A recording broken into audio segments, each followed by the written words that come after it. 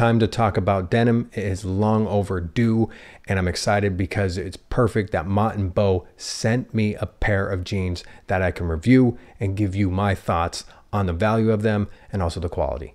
Okay? I do want to show you the jeans. I also want to talk a little bit about the history of denim and jeans specifically, and of course go over this amazing company, Mott and Bow, that I'm, spoiler alert, I'm pretty impressed with. Now, first, my name is Timothy Sands, and this is Fashionable Father. If you're one of the lucky early subscribers, welcome back. And if you're new here, I present content to inspire men to present their best selves. If that intrigues you, subscribe if you're so inclined.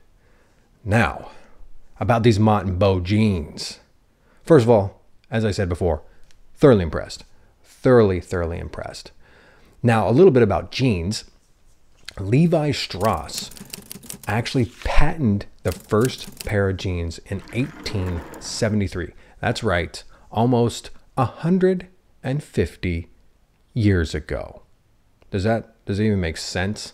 Now, of course, jeans have been around for that long, but they didn't really get popular until the 1950s. Impressive to think that we have something around for that long in modern fashion.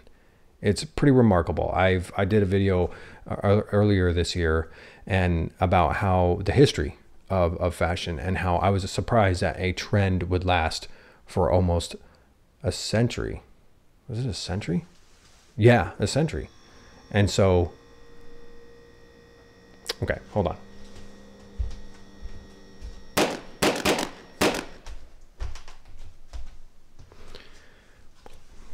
If we could date it back to when they became trendy and a fashion statement, it was 1950s. And so we at 50 plus another 20. So that's 70 years of it being high fashion. Interesting, right? So denim had been around for quite a while. Like in the middle of the 1800s, I think um, somewhere in France, it was like denims. Uh, that's where they found or they created the material.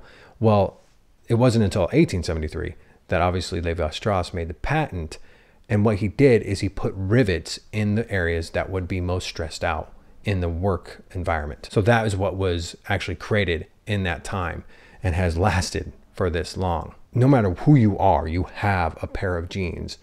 And I'm always envious of the people that can make it look so good. And I'm always on the search for that specific fit and that specific jean that makes me look good and that I can wear and feel comfortable wearing. I think something else about jeans that obviously for me is very inspiring is it's very much a vocation type fashion. It does, you know, evoke work. It evokes someone who is not trying to look like they belong in an office. They literally belong in the work environment, casual, gritty. You can make them dirty. Obviously, one of the hugest aspects of fashion is putting holes in them and making them look faded. Okay, so there are obviously two important factors when it comes to jeans. And we know that there is fit and it is dye. Now, fit, I feel like, is something that should be very specific to you, not trendy. I think that was the debacle of skinny jeans because a lot of people should not have worn skinny jeans. And if you're just trying to fit with the latest trend as far as fit is concerned, then I think you're going to lose. Find pairs of jeans that work for you and your body type that make you look good. That's the key. Now, the second aspect is the dye. And of course, you can get trendy with the dye. Whatever the latest trend is, if you want to jump on that, go ahead. This is something too that maybe there's a third aspect where I think you should have a vision when it comes to what kind of pair of jeans you want to wear. And also know that it doesn't have to be the latest trend. If you like this look, if you want to go with this certain specific feel, run with it. You do not have to be with the latest, uh, hottest thing. If you like holes in your jeans, put some holes in your jeans. If you don't, you don't have to, right?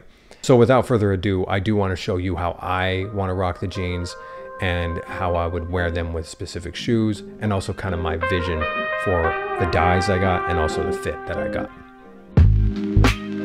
So the first look I went with was, of course, the linen. Please excuse the wrinkles. I just think linen should be wrinkled. Now this dark blue rinse is actually is the olive rinse from Mott. I went with the slim fit, not the skinny fit, and they also have a straight fit. Now I like dark blue jeans because you can go with a kind of a classier look and you can kind of dress them up, but also you can dress them down.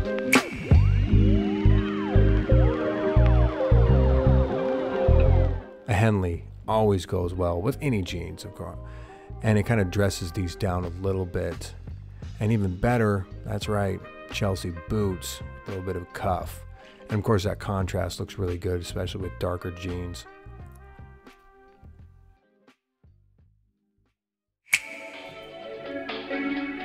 That's right.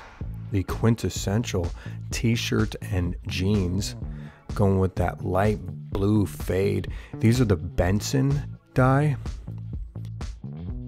And yeah, of course, a little bit of a roll makes it look that that much more classic, which is a really cool look.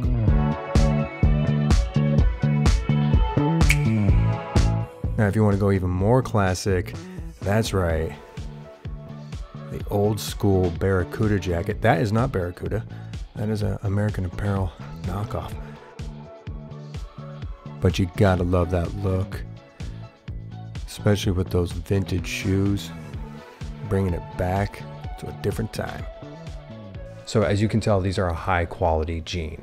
Now, the philosophy of Mott and Bow is the fact that they're making basically $200 price point jeans and they're coming in at about a buck 18 a buck 20 i think right around there. And i have to admit my price point for jeans is usually around like 80 to 100 dollars. So this is right in my price range but um, i do feel like this is a step up from the normal jeans that i'm used to wearing. The quality is there and they are very nice very nice. Now um, if you go on their website there's a bunch of different dyes and there's a bunch of different fits. I will say I'm impressed with this company.